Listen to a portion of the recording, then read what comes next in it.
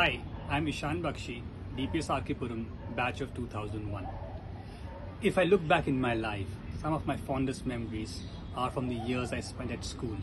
First at Vasant Vihar and then at RK Puram. I made some incredible friends in my journey throughout school life. And many of us are still in touch, despite us being scattered all across the world. DPS provided me a strong foundation, a launchpad to excel in life. Uh, and at this moment in the school's journey, I want to wish it, Madam Principal, the teachers and the students all the very best. Thank you.